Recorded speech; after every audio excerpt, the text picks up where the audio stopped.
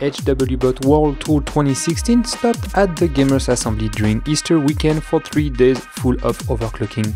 More than 25 extreme overclockers gathered in Poitiers for the biggest LAN party in France with over 2000 gamers. With more than 19,000 visitors at Gamers Assembly, the two areas of the HWBot World Tour gathered an interest from a large crowd of visitors and media alike. The FFOC demonstrated to the public that overclocking is accessible, safe and fun to practice. The amateur experienced their first overclocking competition on powerful systems equipped with the MSI Z170 gaming carbon motherboard Klevv DDR4 CRAS memory, Seasonic Platinum P760W power supply, and all that nicely mounted on the Streacom BC1 bench table.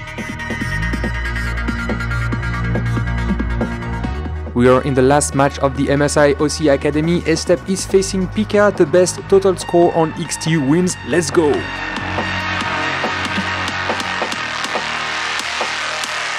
With only 8 point advantage over Pika, ESTEP is the new champion of the MSI OC Academy. Congratulations!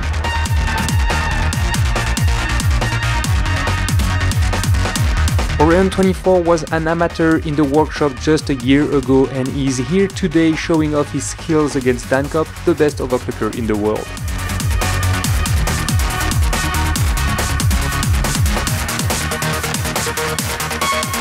Here we are, the games are done, Dancop accesses the final and will face his fellow countryman Bull Shooter.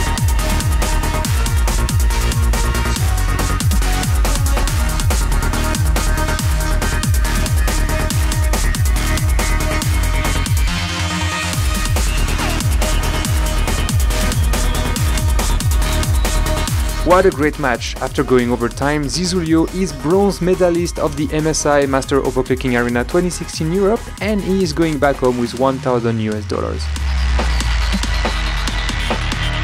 After 3 days of extreme overclocking, Dancop finished second adding 1500 US dollars to his pocket and Bullshooter deserved his title of champion of the MSI Master Overclocking Arena 2016 Europe and his 2500 US dollars.